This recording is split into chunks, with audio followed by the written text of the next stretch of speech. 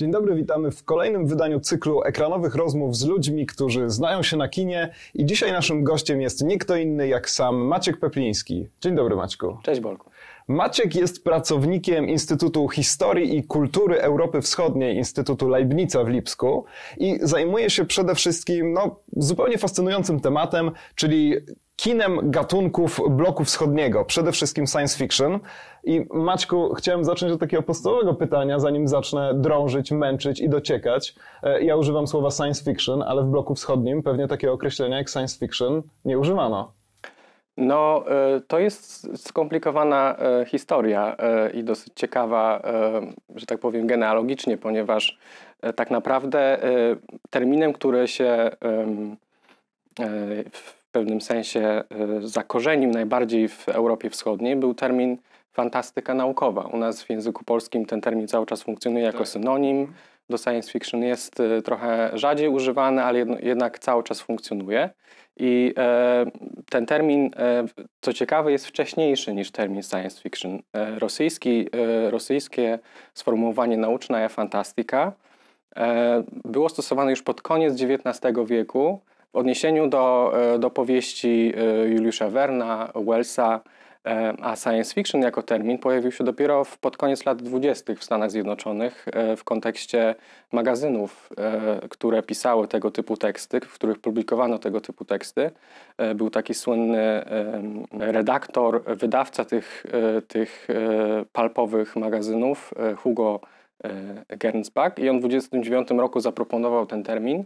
E, I on się e, przez dominację kultury amerykańskiej, przez, e, przez jakość też, wysoką jakość, rosnącą jakość tej literatury i filmu potem, zakorzenił na tyle, że teraz używamy częściej tego pojęcia. Ale no, nie ma co ukrywać, że fantastyka naukowa to właśnie pojęcie, które znamy w Polsce ma taki bardzo sympatyczny, nasz tutaj, tak. lokalny, lokalny tak. wydźwięk. I w większości języków bloku wschodniego e, e, te, to pojęcie jest stosowane, oczywiście w wariantach dopasowanych e, do gramatyki danego języka. Jedynie wyłamało się NRD, które mhm. jako taki, taki, taka mała, osobna, dziwna trochę republika socjalistyczna stosowało nazwę Uczą film, czyli film utopijny nawiązując trochę do jakby tradycji tej literatury e, science fiction, która trochę się wywodzi właśnie z literatury utopijnej, z takich e, starszych tekstów, które, e, które opisywały jakiś ideał rzeczywistości przyszłej, spełnionej, pod kątem porządku społecznego, a wiadomo, że komunizm jako idea, czy marksizm dążył do komunizmu, który miał być właśnie jakąś formą utopii.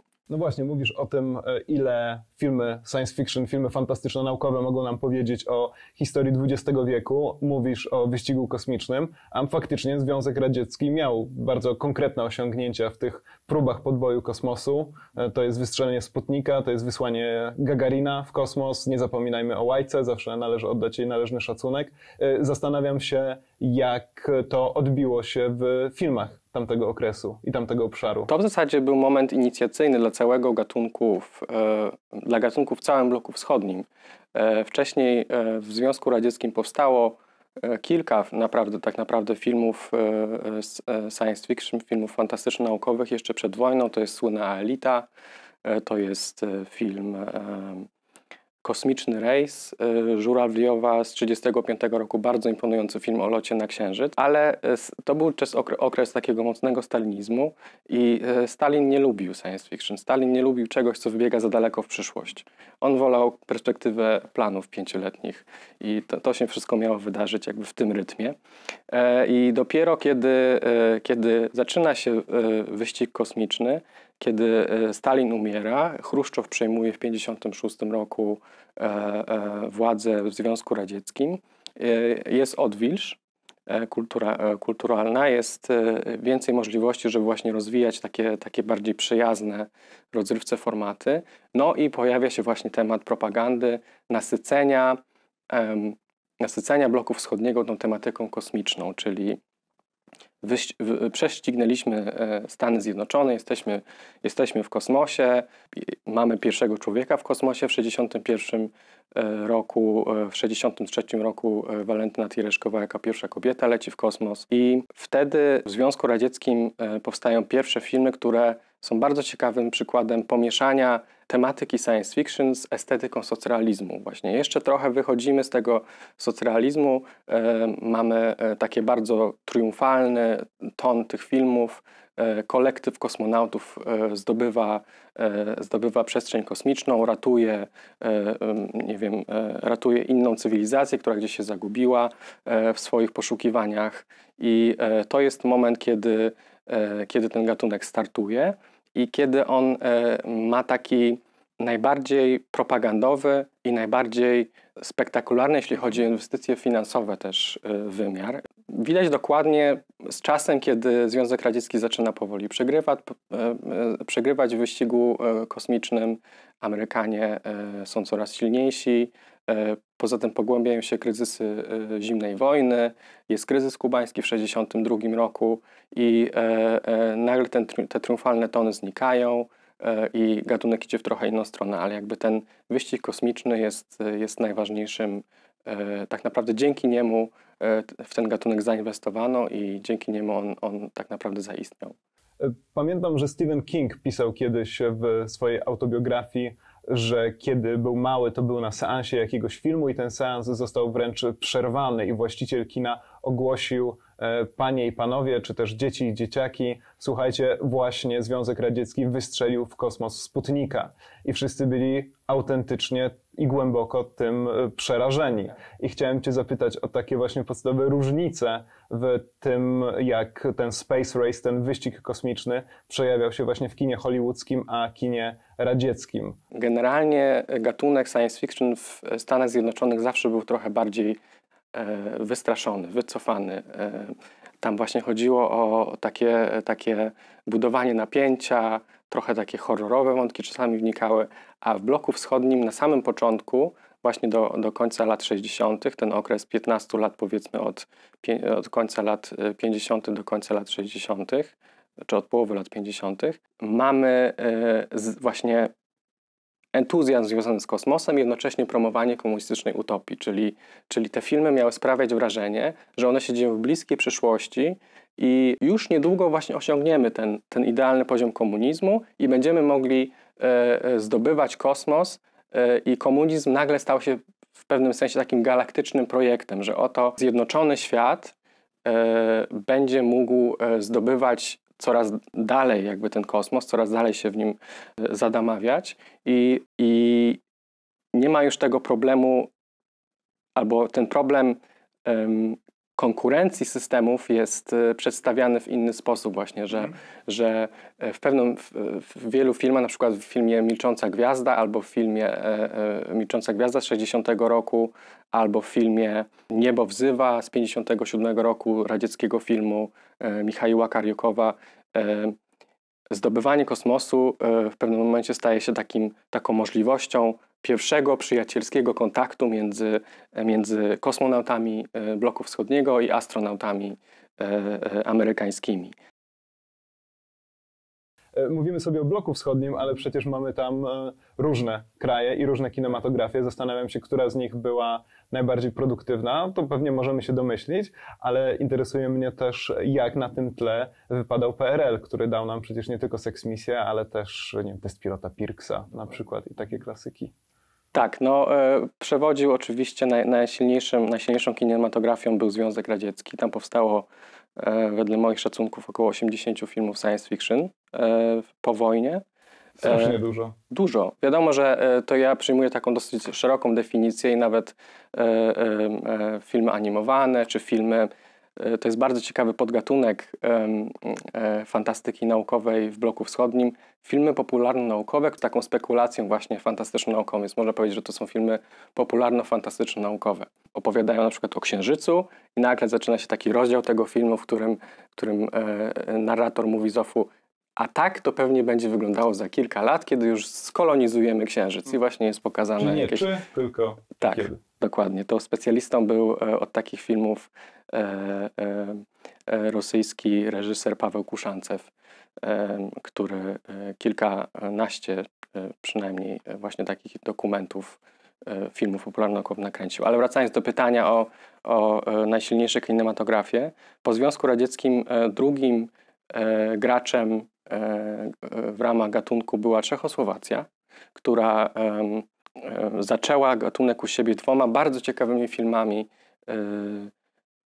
Ikaria XB1 z 1962 roku, taka super produkcja właśnie porównywalna do Milczącej Gwiazdy w NRD, która była stworzona w koprodukcji z Polską i Człowiek z poprzedniego stulecia. To była z kolei komedia science fiction o człowieku, który przeniósł się w czasie o 100 lat i już żyje w spełnionej utopii komunistycznej.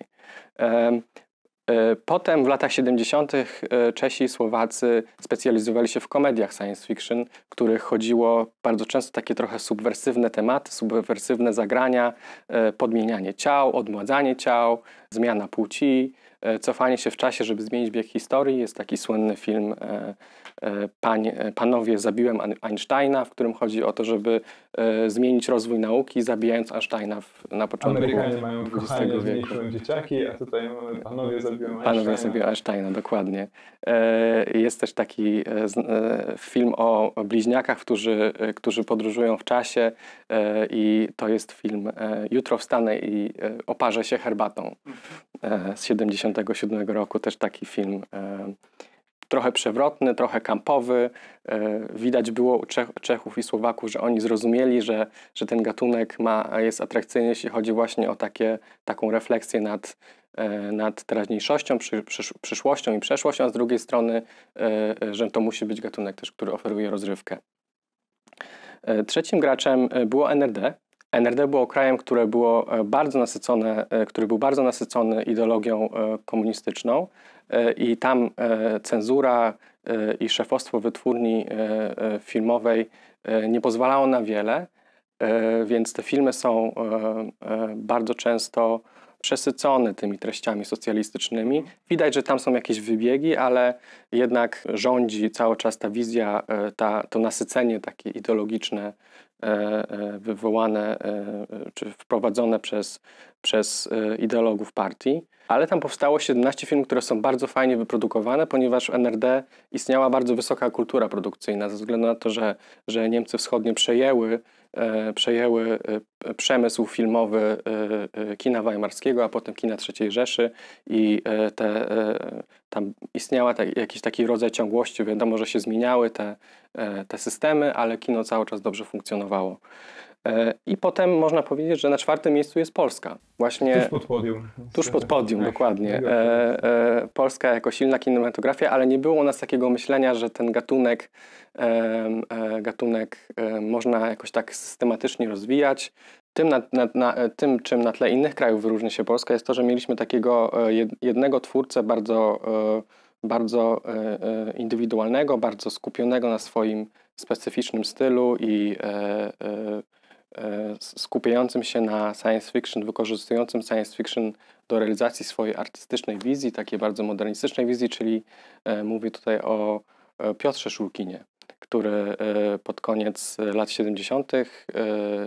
rozpoczął swoją tetralogię science fiction, cztery filmy, z których najbardziej znanymi filmami jest film Golem, otwierający tę trylogię z 79 i film E, obi, oba koniec cywilizacji. I to, to był taki, e, taki e, nasz trochę specjalista od science fiction, mhm. chociaż on sam tego terminu nie lubił, trochę się od niego dystansował, ale on właśnie na tle całego bloku wschodniego jest takim bardzo ciekawym wyjątkiem. Michał Oleszczyk, polski krytyk filmowy, mówi o nim, że on jest Fritzem Langiem Europy Środkowej.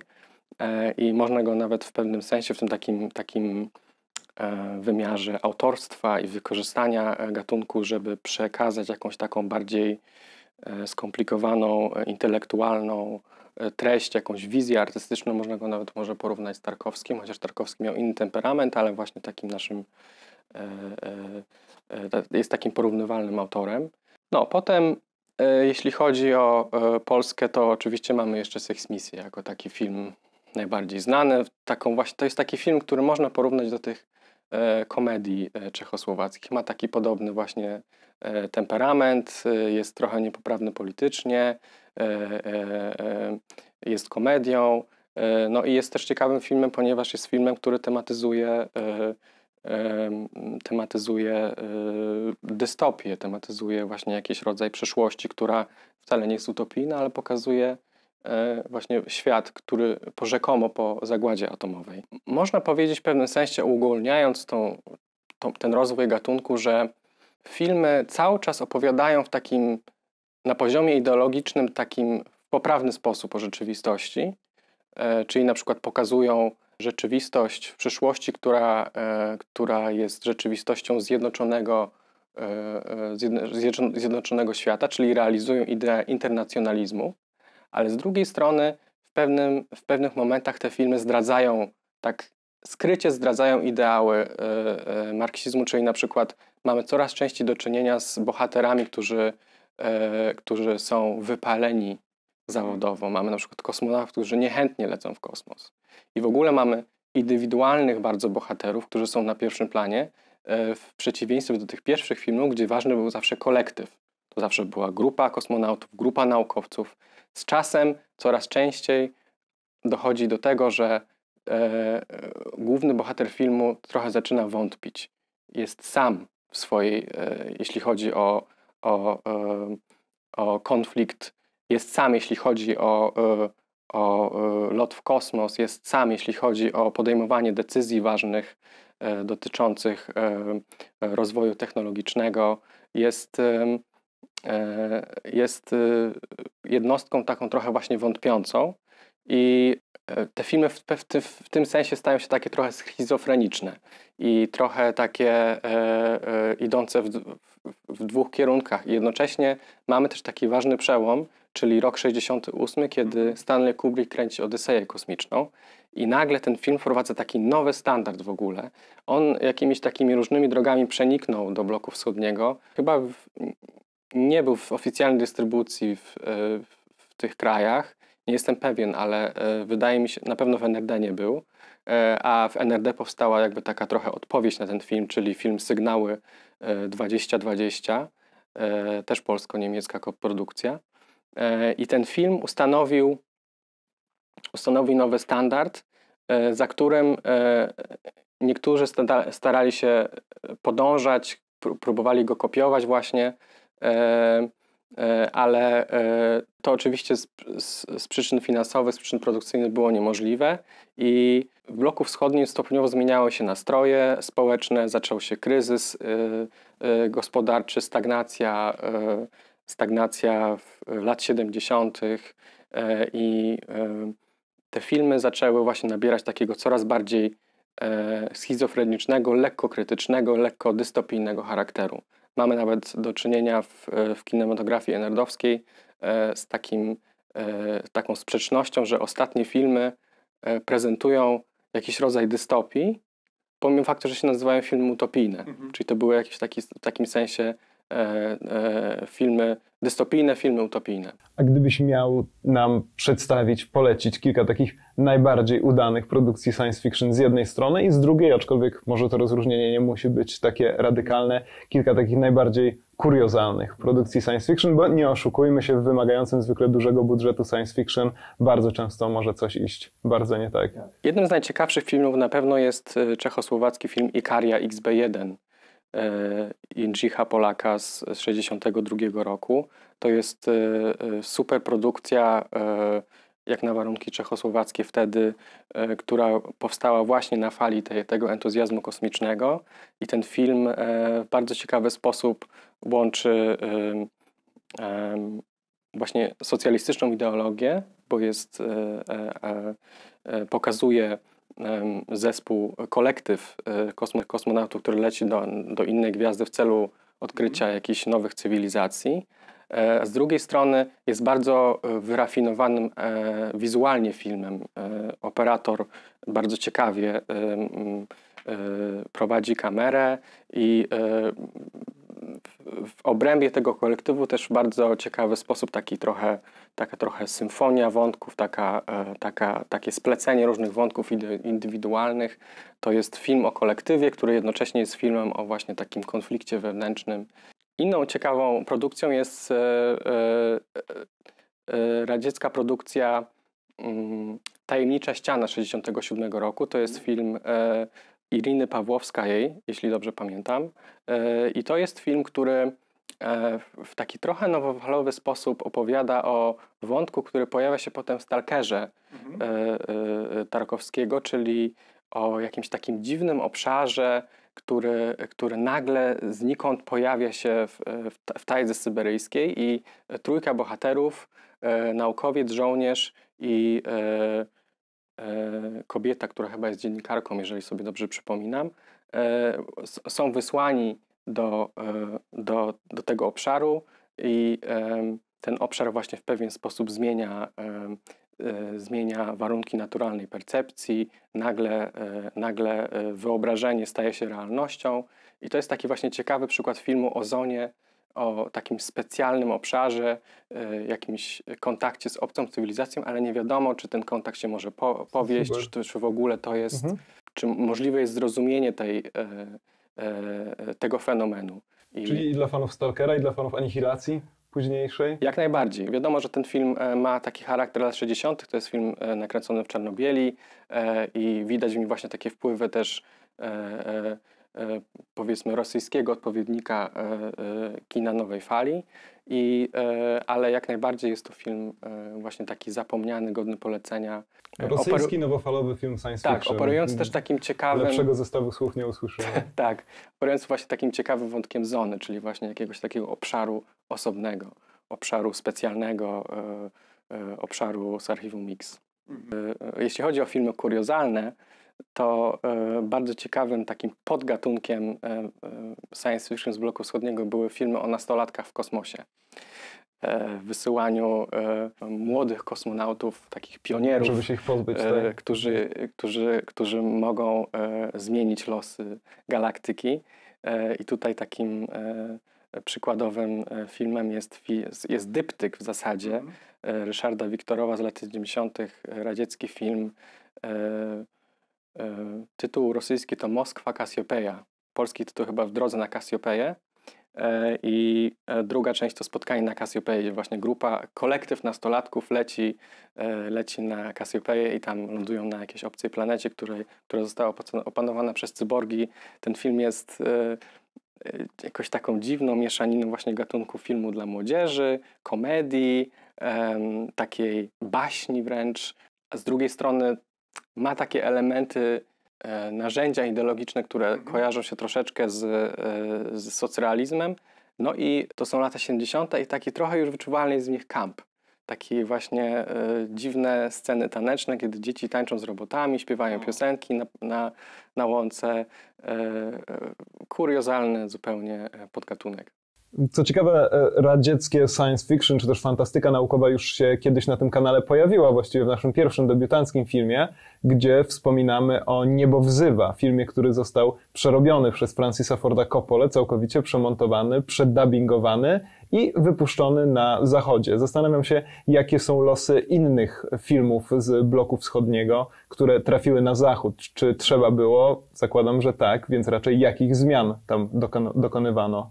Tak, to, to jest bardzo ciekawy fenomen, że e, te pierwsze filmy z bloku wschodniego, filmy, które były e, filmami, w które dużo inwestowano, które były nasycone ideologicznie, miały świetne e, efekty specjalne, jak na tamte czasy, imponujące chyba właśnie dla producentów i dystrybutorów amerykańskich, stały się w obiegu zachodnim filmami klasy B. Właśnie trochę je tak, że tak powiem, ukradziono to, co najlepsze e, i, i e, jednocześnie e, przerobiono trochę właśnie na gusta zachodnie. Dotyczy to właśnie filmu Niebo wzywa Kariukowa i Kozyra z 1957 roku, który Coppola pod pseudonimem Thomas Colchard przerobił na film Battle Beyond the Sun. Dokonał tego, co później praktycznie w każdym filmie było widoczne, czyli zredukował, ukrył trochę wątek E, konkurencji między amerykańskimi a radzieckimi kosmonautami. Wymazał ze statków kosmicznych krót ZSRR, jakoś tak, takim, takim jakimś innym kształtem to po prostu jakoś tak zakleił. Zmienił nazwiska bohaterów, żeby brzmiały tak bardziej, mm, bardziej neutralnie. Nie było żadnych inżynierów o nazwisku jakimś takim rosyjsko brzmiącym. I właśnie zdubbingował je. I dorzucił na, na jednym z księżyców Marsa, gdzie lądują dwie ekipy, dorzucił jeszcze dwa potwory. To jako bardzo charakterystycznych kształtach. Żeby te potwory tam właśnie wprowadziły trochę horroru i napięcia więcej. I generalnie ta zasada powtarzała się tych kolejnych filmach, które e, przeniknęły na zachód. Wspomniany, wspomniana superprodukcja e, czechosłowacka Ikaria XB1 została przerobiona w 1964 roku na, e, na film Voyage to the End of the Universe, też właśnie u Rogera Cormana w, w jego wytwórni. Potem był też bardzo ciekawy film Pawła Kuszancewa z 1962 roku, Planeta Bush, jeden z takich najbardziej kultowych filmów tamtego czasu. E, I chyba w sumie jeden, jeden z takich lepszych, chociaż też wciąż trochę słaby, ale jednak jeden z takich lepszych filmów e, tamtego okresu, e, jeśli chodzi o Związek Radziecki. On doczekał się dwóch przeróbek. Jedna przeróbka to jest Voyage to the Prehistoric Planet z 1965 roku, czyli podróż do prehistorycznej, pierwotnej planety, a, a drugi film to jest Voyage to the Planet of Prehistoric Women.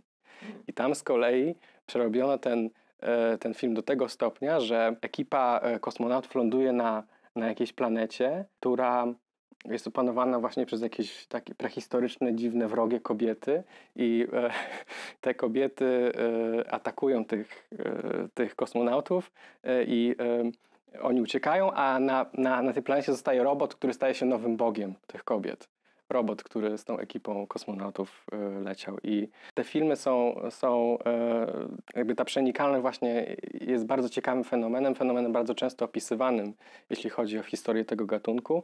Warto też wspomnieć na koniec, że ten film e, ostatni o tych prehistorycznych kobietach to był film też przerobiony przez znanego amerykańskiego twórcę, ponieważ podpisał się pod nim oczywiście pod pseudonimem Peter Bogdanowicz, który też terminował e, w tamtym czasie u Rogera Cormana, podobnie jak Coppola.